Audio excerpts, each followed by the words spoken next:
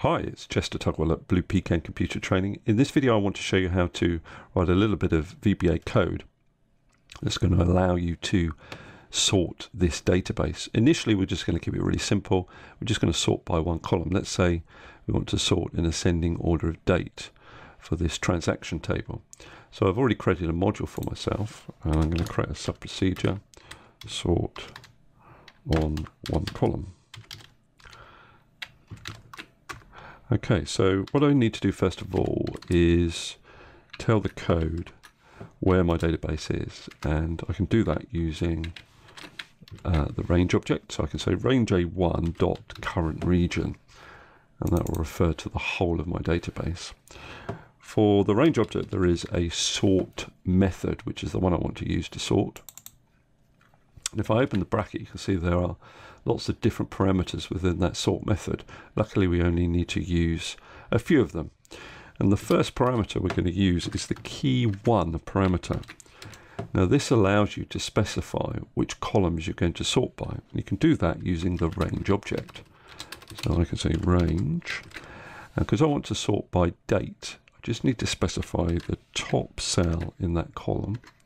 So I can say range B1, that's the top cell uh, that I'm using in my database. Okay, so it's the key one parameter, the primary column that you're going to sort by. Then I can specify the order for that column. So order one, and I'm going to say ascending. I ought to tell the code that I do have headers in my table. So I can say header equals Excel yes. Okay. Now it's saying that because I made a silly mistake. I didn't put a comma in there. Obviously you have to put commas between your arguments. So let's just play this. And you can see now that the data is sorted in ascending order of date. If I just go through the dates, you can see they are in fact in ascending order. Now another way of referring to columns uh, rather than using kind of range B1 uh, would be to actually name the columns within your table and then use that name within the range object. So how do I name the columns within my table? Now you could do this in code, but that's not really the focus of this video. We're going to actually do it in Excel. So I've gone to my formulas tab. I'm going to select the whole database, so Control A, and I'm going to click on Create from Selection. And I'm going to use the top row only to specify names for my columns. So I click on OK. And so then in the name box, you can see that each column has been named. If I select the name, it selects the appropriate column. So let's go over here and copy this procedure, sub-procedure. I'll call this sub-procedure sort on column 2. And what I'm going to do, instead of putting in B1, I'm going to sort by, say, transaction value trans value. So that's the name that's been given to this column. Let's see if that actually works. If I press play, yes, we're in ascending order of transaction value. So you can either use a cell reference or a named reference for your key one parameter. So what if you want to sort by more than one column? Well, we can use this as our useful starting point our old macro sort on mult cols. Okay. Um, now I'm just for a while I'm going to get rid of this header parameter and I'm actually going to bring the key parameter down onto a separate line just to make it easier to read and then I can start the next column sort on a separate line. So we can do that with key 2. Okay, so I could say range. Well, I tell you what, let's, um, instead of having this as trans value, let's have this as pay uh, type. This is a better idea.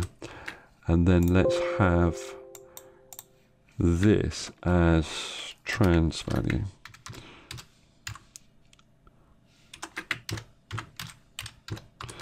Okay. And what we'll do is we'll say the order for this, so order 2 can be Excel descending. So the primary sort order will be by pay type, and then within that by trans value. Now you can see if you look through the different parameters, you can actually go up to key three, so you can sort by up to three columns using this method. We're just going to do the two. I better put my header parameter back in before I try to run this. Header Excel, yes. Right, let's see if this works. Let me press play. So I've got the cash payment types, and within that, the transactions values are in descending order. If I scroll down, you can see that's the case all the way down till I get to credit cards and they start descending again. So are you restricted to sorting by a maximum of three columns? Well, thankfully not. Now, I'm actually going to borrow this one again just to show you how, do, how you do this. You can sort by as many columns as you like. Now, let's uh, call this sort on more than three cols. Okay, now what you're going to do is essentially create this code over and over again, just sorting on key one, and each time specifying a different uh, range to sort on. So if we start this off with uh, the date column, you actually start off using this uh, way of creating the code with the least important uh, column to sort by. You're working up to the primary sort order when you do this. So we'll come down again and I'm going to paste that in again. In fact, we don't need all that. So I should have just copied that line there. And we can say uh, we're next going to have product ID, I think. Product ID.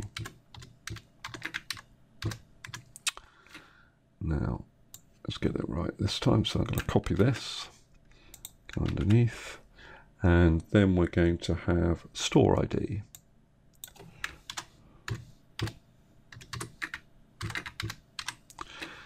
Okay, and then uh, one more. And we'll have, last of all, the primary sort order will be payment type. Pay underscore type. Okay, so let's see if this actually works now. So what we're expecting is payment type is our primary sort, within that store ID, within that product ID, within that date. Okay, let's run the code. So here we are, we have payment type as our primary sort, within that trans uh, store ID. So if we look at this, the store ID goes up within the payment type. Within the store ID, we got product ID, so you can see that these are in ascending order. And then within product ID uh, date, that's not as easy to see because we don't have that many duplicates. We do have uh, one or two, uh, but it has actually worked. This is in date order within product ID. So you can keep doing this. You can keep adding rows of code just using the key one parameter to sort by as many columns as you like.